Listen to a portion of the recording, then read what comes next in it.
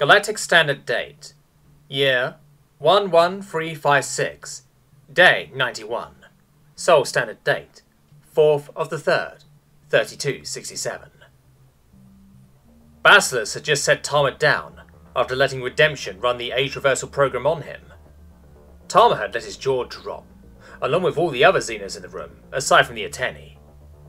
As Tama was testing out his younger reflexes and experimenting with his newly rediscovered agility, Basilisk chimed in. So, any discomfort? Feel like a million bucks? Also, would you like a little bit of an upgrade? He said, with a grin. Tama smiled a massive fang smile. Oh, oh yeah, there's no discomfort at all. It feels like I could kill a couple of Raspberry Death barehanded. Oh, and that upgrade thing? If it were maybe as badass as yourself, then sure, he said. Basilisk laughed heartily and clapped his hands together with a resounding dong sound. I like you.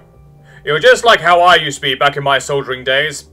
Tell you what, I won't be able to turn you into a full conversion cyborg like myself, but I can definitely have Redemption set up some prototype cybernetics that'll work with a honey badger, he said. Tama nodded his head. Let's go with that. Turn me into a tin can full of whoop ass, he said. Alania was watching Tama's whole transformation from wise old badass to young and hot badass with a level of anticipation she didn't know she could reach.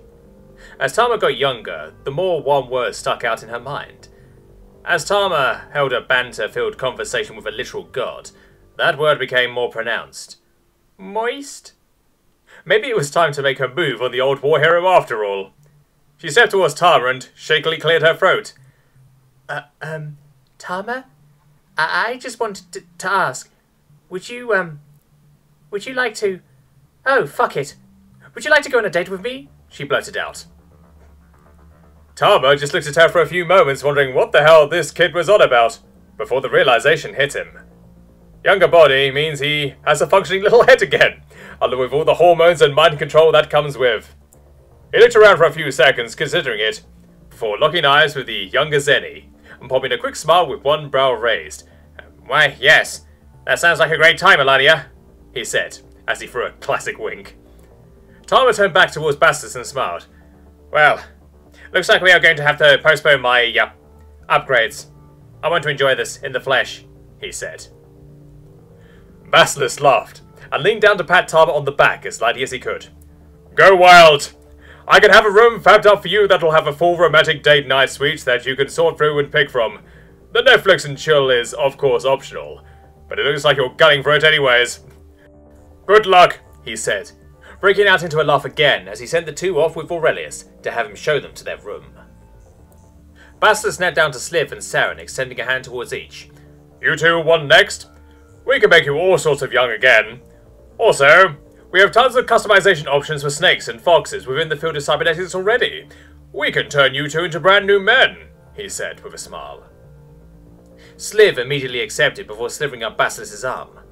Saren, on the other hand, was a little iffy on the whole thing. After all, what if their technology didn't work on the Kintanjo? This is precisely the moment Haruhi decided to show herself. What are you waiting for, kid? Uncle Bassi won't bite, unless you're an Azarian anyways, she said. Saren froze. He was looking at a Kintanjo that was quadruped instead of bipedal. The hands weren't hands either. This strange Kintanjo had paws. What the hell was she? There was that sense of familiarity that he didn't get with any of the other species too, so she was definitely Kintanjo. He just didn't understand now. Um, what? What are you? You are like me, but not, he said. Haruhi sat down and sighed. I guess that would be shocking to a kid like you, huh? I am called a red fox, native to Earth. You are not. I'm your distant evolutionary cousin from the leftover genetic stock that the old life eaters threw on Earth when they united with humanity. There's your history lesson. Now go have fun getting young again, kiddo, she said. Haruhi then jumped into the waiting hand that was meant for Saren, and climbed all the way up to Basilisk's shoulder, providing, Come on, hurry it up. Saren was going into shock again. She mentioned life seeders. She's talking about our gods of old. And what's more, she just dropped that they still live on in humanity. I wonder what these humans look like. I wonder if these Terrans will take me to a human. Wait, how is she talking to me? Her mouth wasn't moving. Saren climbed up into Basilisk's hand while his mind was racing with the possibilities. Basilisk yelled to Redemption to go ahead and reverse the age on these two. While that was going on, he looked to the Sliv. You know, I never actually got your names. I am Basilisk, Emperor of Man, he said. Sliv bobbed his head. My name is Sliv. The one in your other hand is called Saren. As for the two who just left, the lovesick girl is named Alania, and the man that she left with is named Tama. He is a member of the High Council as well as a war hero. I'm his last remaining squad mate, he said. Basilisk smiled. Nice to meet you, Sliv. You know, I like snakes. You guys are usually pretty chill. As such, I already have some templates for some nasty upgrades for your kind. I could get you hooked up with a full solid snake mecha. We can have one fabbed up within a few minutes, he said, with a gleam in his cybernetic eye. Sliv eyed Basilisk for a long moment before bobbing his head yes. If you can help me keep up with whatever insane upgrades that maniac Tama will allow you to equip him with, then yes, I will partake of this solid snake. Basilisk laughed and set the two down. You're all set. I'll have Aurelius whip up your upgrades after he's done setting up the lovebirds, he said. Basilisk looked over to the new group of aliens and walked over to them. Hiya! Figure I should probably do introductions first this time. I am Basilisk, Emperor of Man, he said, while motioning at the group. Vela leapt over the others while performing a flip and landing in a full kowtow. My name is Vela Tavani. Please allow this unworthy soul to worship and revere your lordship, as is your divine right, he said. Basilisk scratched his head and thought for a moment. This guy wants to worship me? I have enough trouble dealing with human cults that worship me, though nothing I ever say or do has ever stopped them from doing so. Maybe try something new. Basilisk cleared his throat and knelt down next to the kowtowing hawk. Raise your head, Vela Tavani. I, I am technically a god, this is true. However, I do not wish for worship. All I ask for is that you treat those around you how you wish to be treated, typically with kindness. You may consider me but a man and treat me as such, he said with a half smile. Vela started to cry and mutter incoherently about benevolence or something, so Basilisk pointed towards the cat. You next, please, he said. Mizan shakily stepped forward. My name is Mizan Detani. I am a Felis who defected from the Empire of Felid kind. That is all, she said stiffly. Ren and Sven both slivered up next to Mizan. Hiya, Mr. Emperor Man.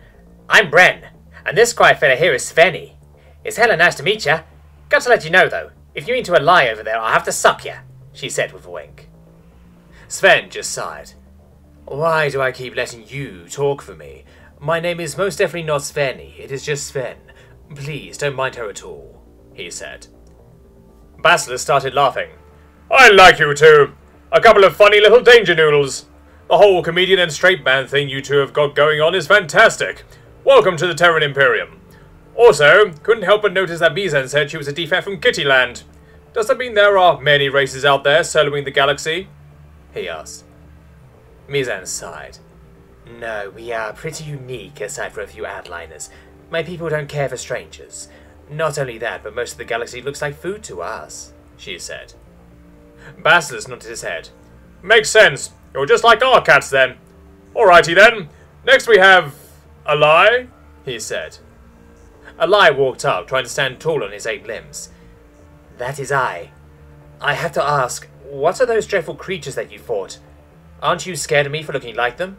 Mad at me at the very least? He asked. Basilisk laughed. No? Why would I care if you look somewhat similar to the Azarians? Those interdimensional bastards have nothing to do with you, and you have nothing to do with them. Simple as that. Doubt any human these days would even look twice at you. For being the life-seeded version of the octopus, you don't actually look any different. Just, uh, stay away from our restaurants on Earth, he said.